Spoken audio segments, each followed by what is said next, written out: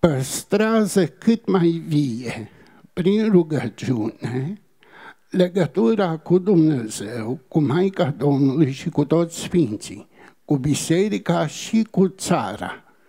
Și nu îngădui ca distanța fizică să rodească în depărtarea sufletească, în străinarea spirituală, ori destrămarea familiei.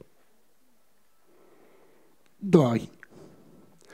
Nu-ți reprima nostalgia locurilor natale, ori dorul arzător după ce ai rămas acasă, bunici, părinți, frați și surori, fii și fiice, rude de aproape sau de departe, ci folosește-le ca prilejuri de mărturisire cu demnitate ale originii și identității tale și ca ancore pentru neuitarea țării care te-a plămădit. 3. Participă la viața liturgică, socială și culturală a comunității spirituale de care aparții peste hotare, pentru a pregusta din bucuria regăsirii tradițiilor românești și a trăirii autentice a credinței strămoșești. 4.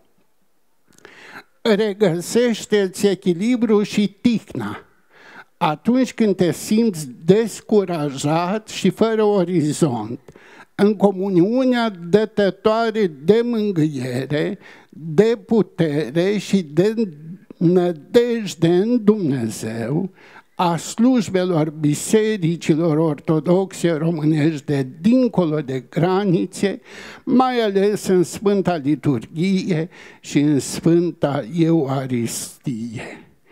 5. Atenție! Ferește-te să te lași atras în văltoarea unei vieți trăite exclusiv prin prisma bunăstării materiale și a confortului social, însă golită de spiritualitate și hrănește și sufletul cu rugăciune și cu post, cultivând cu statornicie binele și frumosul în viața ta. 6.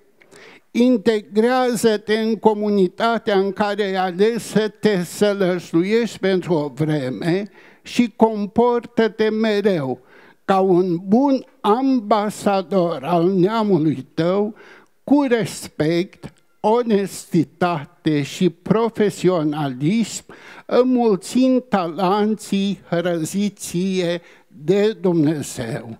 7. Atenție! Atenție!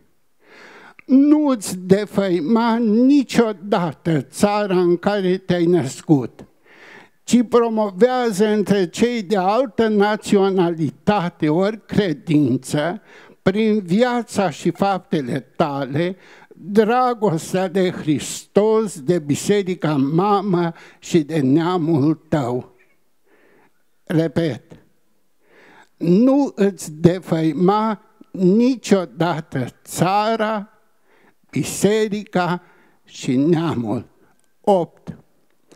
În peregrinările tale, alege din cele ce te înconjoară ceea ce este ziditos și de folos, ca întorcându-te în țară să contribui prin experiența dobândită la bunăstarea compatrioților tăi.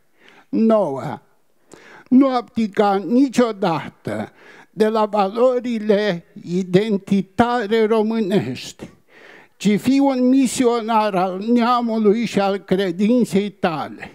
Descoperim bogățiile patrimoniului național precum și frumusețile ortodoxiei celor interesați de cunoașterea acestora. Și zece, încrustează-ți în inimă iubirea de țară și păstrează vie conștiința românității tale, ca să făurești din orice loc în care îți vei purta pașii un acasă, o icoană a României demne, autentice, jertfelnice și frumoase. Acestea sunt câteva gânduri pe care aș vrea să le pun la sufletele celor care sunt plecați în străinătate, dar și celor rămași acasă. Nu-ți înfăima niciodată țara, biserica și neamul din care te-ai născut.